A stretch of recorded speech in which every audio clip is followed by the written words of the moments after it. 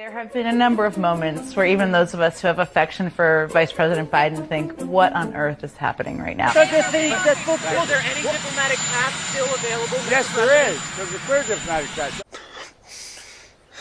Yes, there is. There's a clear diplomatic path. Yes, there is. There's a clear diplomatic path. I don't understand the words you just said.